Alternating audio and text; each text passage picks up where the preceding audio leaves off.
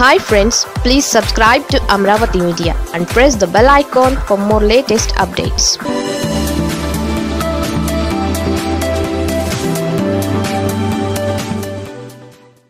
ఇక హవా నాదెండ్లదేనా? దేశంలోనే వెన్నుపోటు రాజకీయాలకు తెలుగు రాష్ట్రాలు పెట్టింది పేరు అంటారు. మిగిలిన చోట ఈ రేంజ్లో నమ్మించి తడిగుడ్డతో గొంతు కోసిన ఘటనలు లేవు. అక్కడ పదవీ వ్యామోహాలు ఉన్నాయి. కుర్చీలాటలు ఉన్నాయి కానీ ఇంత దారుణమైన రాజకీయాలు మాత్రం లేవనే అంటారు.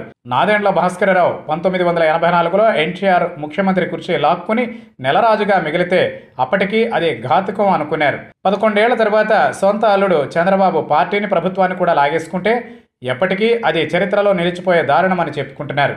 ఇక పవన్ కళ్యాణ్కి నాదెండ్ల కుటుంబంతోనూ సాన్నిహిత్యం ఉంది. అలాగే చంద్రబాబుతోనూ ఒకప్పటి దోస్తీ ఉంది. ఎన్టీఆర్తో పోలిస్తే పవన్ కొంత రాజకీయంగా రాటు దేలేవాడేనని చెప్పుకోవాలి. కానీ ఇది రాజకీయం. విషయం కంటే ప్రమాదం కాబట్టి ఎంతటి నాయకులకైనా కూడా వెన్నుపోట్లు తప్పవని చరిత్ర నిరూపించింది. అందుకే ఇప్పుడు నాదెండ్ల కుమారుడు మాజీ స్పీకర్ మనోహర్ కో పైలట్గా ఉన్న మరో ఫిల్మ్ స్టార్ పార్టీ జనసేనను కూడా నాటి ఎన్టీఆర్ తెలుగుదేశంతో సరిపోలుస్తున్నారు.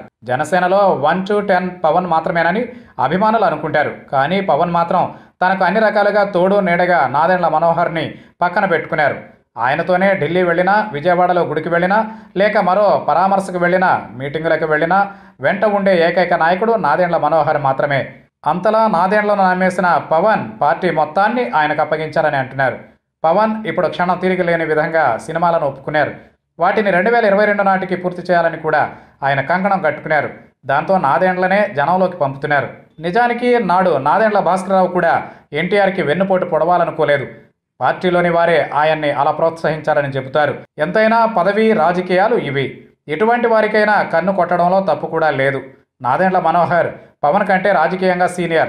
అనుభవం ఉన్నవాడు. పైగా చంద్రబాబు సామాజిక వర్గానికి చెందినవాడు. బీజేపీ పెద్దలతో టచ్లో ఉన్నవాడు. ఆయన ఇప్పుడు పవన్ లేకుండా టూర్లు చేస్తున్నారు. జన సైనికులతో మీటింగులు పెడుతున్నారు.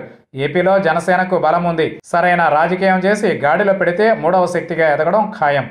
ఇప్పుడు పవన్ పక్కనే ఉన్న నాదెండ్ల మనోహర్ రేపటి రోజున జనసేన పుంజుకుంటే ఏమైనా చేస్తారా అన్న డౌట్లు అయితే ఉన్నాయట. పైగా కోస్తా జిల్లాల్లో కాపులకు కమ్మలకు పడదు అని చెబుతారు.